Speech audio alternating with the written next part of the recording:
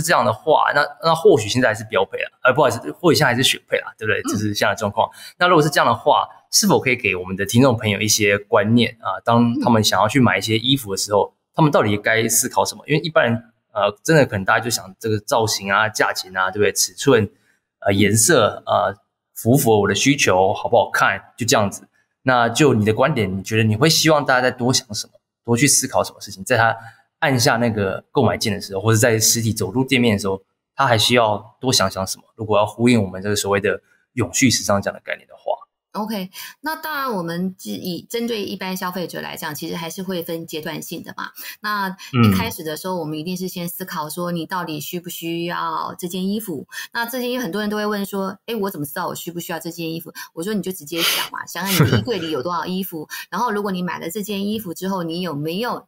机会让这件衣服一年穿三十次以上，至少要三十次。那平均下来就等于说一个月大概穿二到三次，也就是说一个礼拜至少会穿到一次嘛。那我觉得如果你可以穿到一次，那我觉得你你就可以来购买这件衣服。那再来的话，第二个的话，其实就是你也去思考一下，就是说，哎，你你要去看一下它的 label，就是它的洗标。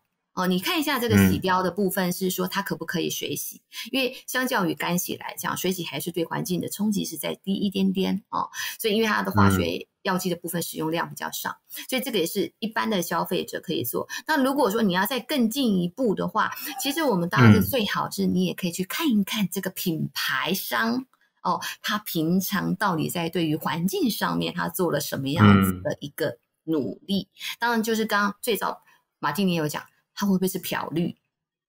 好，它是不是有可能？你发现，哎，它品牌都做了好多事情，可是你要去思考说，哎，这个是他真的有在做，还是没有在做？所以，真的有在做这件事情，当然就是可能真的你要去搜寻一下，因为刚刚也我们也有提到了资讯公开揭露这件事情，你要去看一下，它是含糊带过。还是他真的讲的好清楚，交代的好清楚，每一个环节他都告诉你我的源头是谁，我怎么做，然后我从哪里，你都可以有一些科学的根据或者是数据，它可以提供出来给你。当然，我们诶，这个也可以造假，可是 suppose 啊，我们目前也相信，他如果有经过第三方认证哦，我们姑且相信这件事情。所以其实就等于说，消费者其实可以做。更多的那我刚刚就讲说，这是一一件一件层级式的嘛。那当然你也可以去找第三方的认证单位，其实也会提供一些说，哎，他们其实有合作了哪一些品牌商、供应商有在做这些事情。然后因为等于说有第三方来帮你做监督，这件事情其实也是一个蛮重要。当然，我觉得最终还是最大的监督者是谁？其实是消费者，你才是就是我刚刚一直在提倡的，就是你才是改变力量的所在。